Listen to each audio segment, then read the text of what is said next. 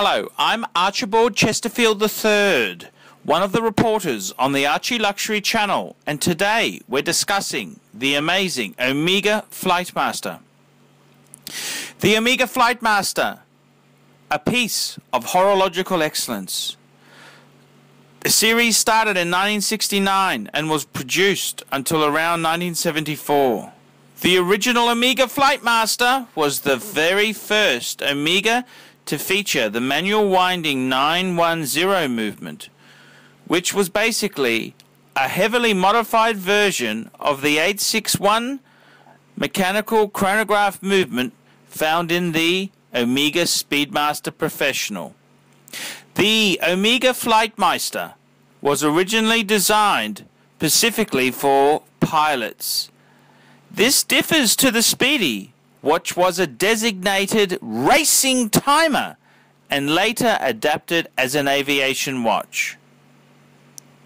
The Flightmaster has a direct connection to space flight. Cosmonaut Alexei Leonov wore a caliber 911 Flightmaster during training for the 1971, sorry, 1975 joint American Soviet Apollo Soyuz mission. Although the Flightmaster takes cues from the Speedmaster Mark series, it is a very unique looking piece. It has several features not commonly seen in the late 60s. It features a 43 mil case made from a single piece of steel, an independent GMT hand, 12 hour chronograph, and an AM PM indicator. The seven hands, three subdials, three crowns, two pushes, and a host of different colors make this a wonderfully offbeat wristwatch. It may seem that the functionality packed Flightmaster would have an overly busy dial, but it's actually quite the opposite.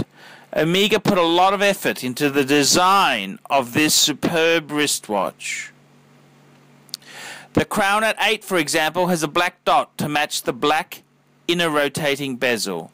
At 10, the crown is accented with blue to indicate its control of the independent second time zone hand. Further, the pushes are either red, yellow, or orange to match the particular example's chronograph hands.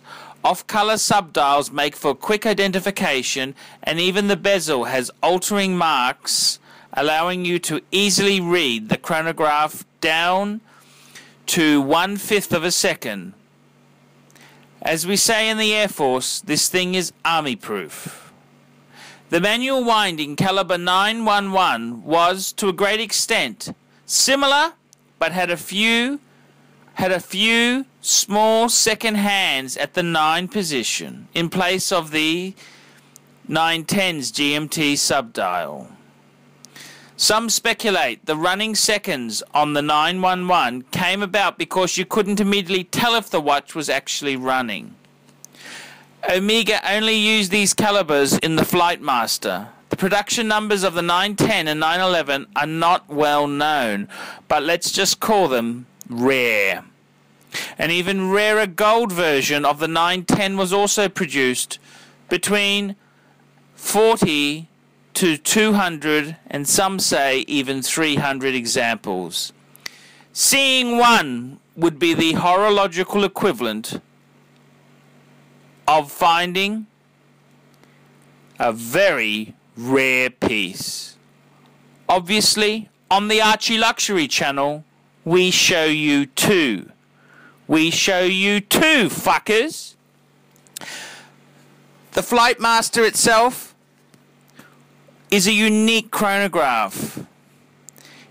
It created a cult following, and its heritage can be seen in the X33 and Spacemaster Z33 today. The Flightmaster itself is an extremely popular sports watch for the true enthusiast. The Flightmasters are even cooler than Speedmasters in this environment. So, if any of you have a Flightmaster, you are one cool fucker. Archibald Chesterfield III reporting on the Omega Flightmaster.